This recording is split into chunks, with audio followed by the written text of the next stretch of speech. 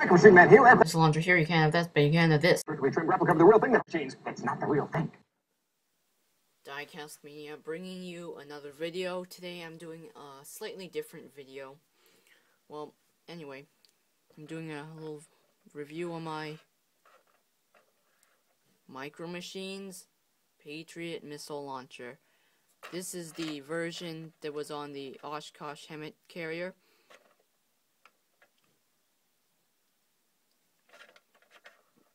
Base says 1987 Galoob, so this came around came out around 1988 or so. I believe it was used until maybe the mid 90s when uh, micro machines went out of style. This is an actual vehicle. Um, the Patriot missiles are still being used. It's a uh, surface-to-air missile, which means it can uh, blow up uh, any kind of threat that's in the air, be it a missile from somewhere else or maybe flying saucers in the near future. I don't know, just joking there. But they are used to uh, blow up threats there from the air. So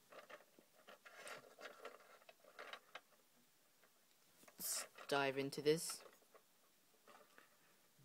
Got this for price of $15 off of eBay. Also came with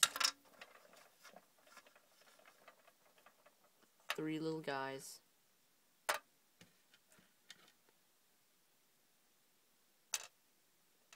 Three little micro machines dudes.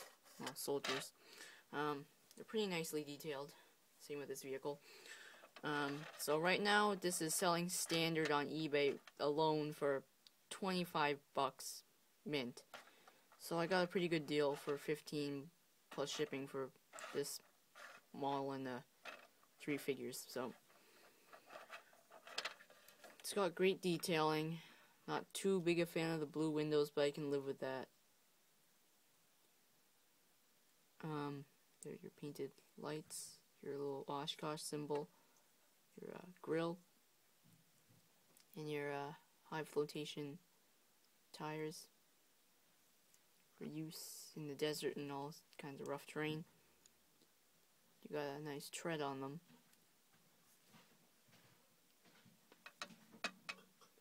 Um,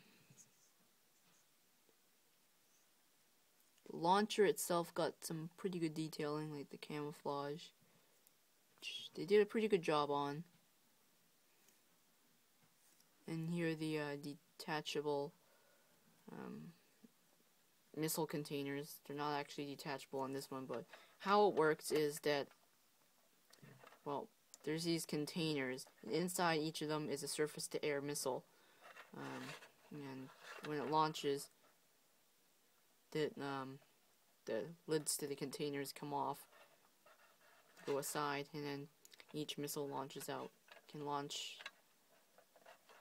four missiles, pretty much at the same time. I believe they can launch more though, because these are just placed on by a crane. Uh, so when every single missile is fired, crane comes in, uh, pulls off these containers and places new ones on. So Reese is this far up on fake hydraulic cylinders, simulated ones I should say. Only because about 180 Goes down. I believe this was also available on a semi truck. The in micro machines form, but here you can see there's a little hitch. Possibly to hook up to more of these. Something like that.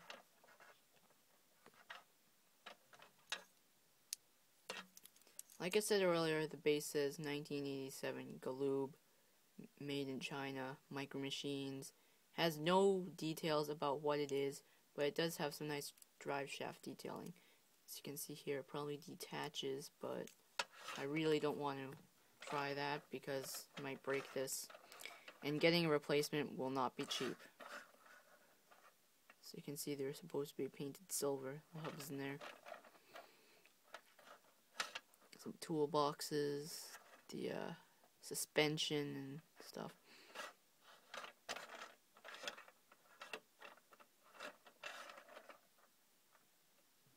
Pretty nice. Just do a 360 of this. And I'll get to the guys. Well, this model was issued in your regular olive drab camouflage. Um, in several different shades of that. A few different variations of desert camouflage. And, um, tractor unit itself, the Oshkosh, was released under Hasbro's rule in about 2003, I want to say 2004, alone in a uh, Arctic combat set. It was just white with some weathering on it. So that's a pretty nice piece. It's bigger than most micro machines, so I'll compare it to a Hot Wheels car about the same length as a Hot Wheels car, so that's very unusual for a Micro Machine, because normally they only go to about here. So, um, they're the little guys.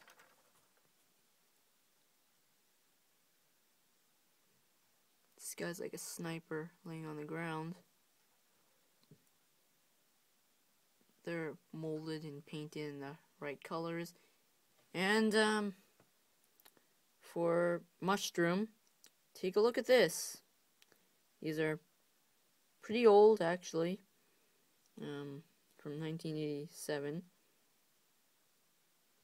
And, see, the gun. No bent barrel. Compared to the, uh,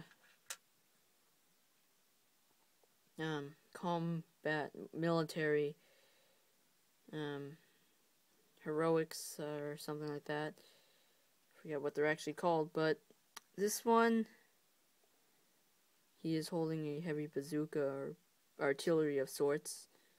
Um, but for some reason he has a pink face. I don't know what's up with that.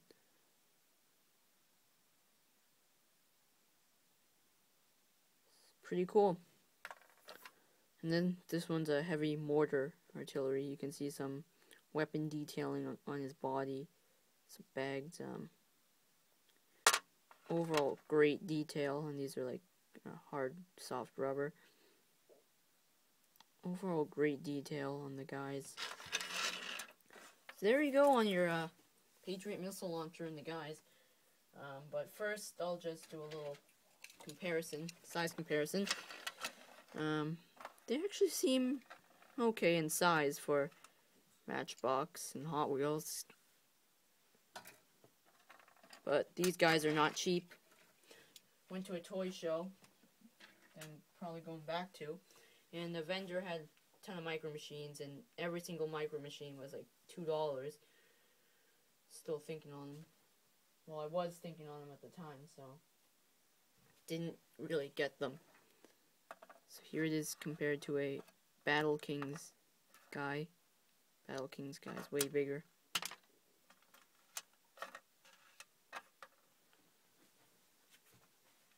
And I'll show it next to slightly smaller military vehicle.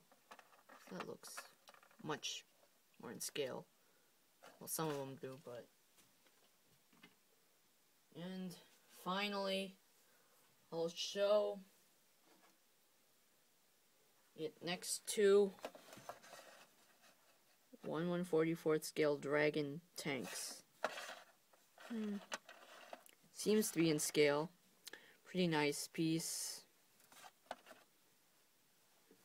I highly recommend getting these if you uh, can find them for a great price. And I believe this one was packaged in a gift set